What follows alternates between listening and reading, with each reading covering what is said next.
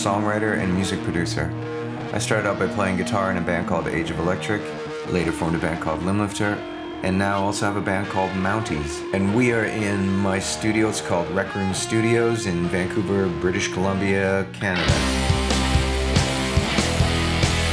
I started playing guitar when I was nine years old because my oldest brother Brad was 18 and he played guitar and it seemed like a thing to do.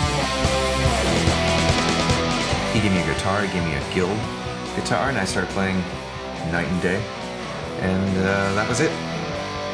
My mom lent me the cash to buy a Marshall SU-12 combo amp, which she immediately regretted because of how loud it was. But I think because that amp was so clean, it was uh, it kind of informed my playing, and I kind of hit harder with my right hand. And I'm left-handed as well, and I was playing guitar on a right-handed guitar, which forced me to develop more of a percussive guitar style because I have more dexterity on my left hand than my right. So my right hand's kind of useless, so I just would hammer things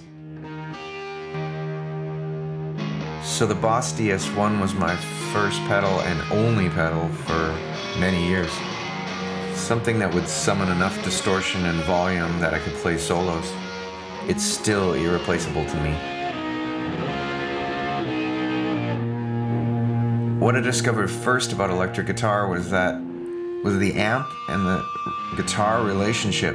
The relationship between those two things, like the way that the amp saw the guitar was always interesting to me.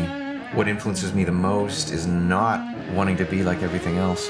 Just don't want to sound like that or that. I bought my Les Paul for 350 bucks because nobody wanted them in the 80s and we'd get heckled for using them. You know, like, buy a real guitar and stuff. And I love that.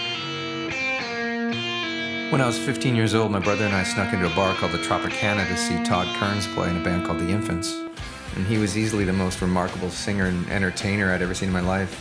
My brother Kurt, who was about three years older than me, went on the road with Todd. So together they decided that they were going to start a band with their younger brothers as soon as they graduated high school. And that's how uh, the Age of Electric came to be. So we toured across Canada nonstop for years, and we all kind of gravitated towards Vancouver as a home base. Kurt and I formed another band called Limblifter with Ian Somers playing bass. Yeah, I guess it was rare at that time, you know, to be in two bands. People were like, you can't do that. But that's all we ever did was do things that people said we couldn't do. You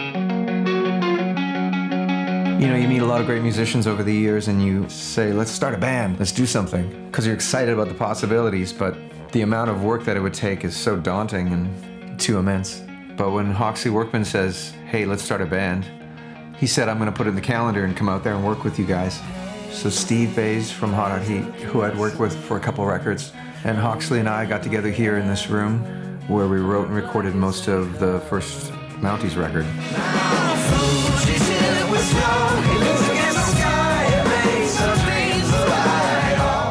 With the right combination of people, songs can kind of just drop out of the sky. And with Stephen Hawksley, it's just instant lyrics and melodies just coming right out of the air. And just, we, we just, it was so quick and easy that nobody thought of what we should do and how we should do it. We try to capture that again, and it's difficult because you're more you're more thoughtful about it, you're more uh, aware of the process and all the things you went through that got you to the spot where things were just delivered to you. So now we're constantly trying to trick ourselves into doing that thing, which is making music without thinking.